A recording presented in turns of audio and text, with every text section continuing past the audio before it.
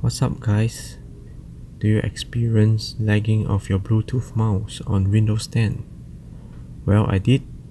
So I actually have three machines that runs on Windows 10 and all of them runs my Logitech Bluetooth mouse fine except for one and this runs bootcamp on a MacBook so I'm not sure what's the problem it's probably not Windows it's probably not Logitech but um, probably some drivers conflict which I'm going to show you that it is a configuration that can be done on the well weirdly is the network adapter driver.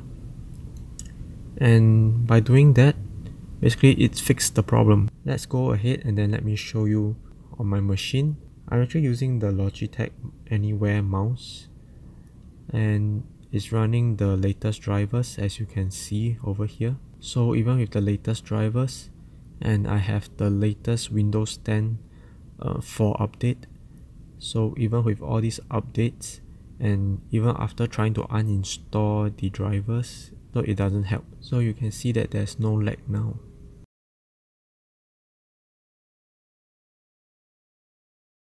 so we will go to the network adapter settings. We do it by going to the uh, icon in the taskbar. If you are using Wi-Fi you left click on the Wi-Fi icon.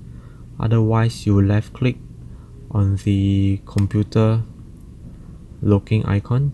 And then you choose change adapter options. If you are using different variants of Windows 10 this page may not look entirely the same but basically it's something about changing adapter settings. So just choose whatever that you can find and then it will show you the network adapters that are on your PC so after that click on the properties button. And the next thing is we we find the adapter that is uh,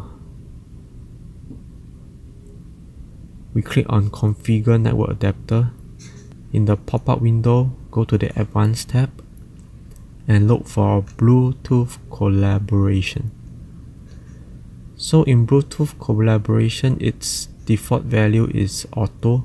If it's something that's not disabled just change it to disabled. And then after that click OK through and voila it, it takes 10 seconds or so for the changes to take effect. Basically you'll lose your network connection for that while and after that your mouse should run fine.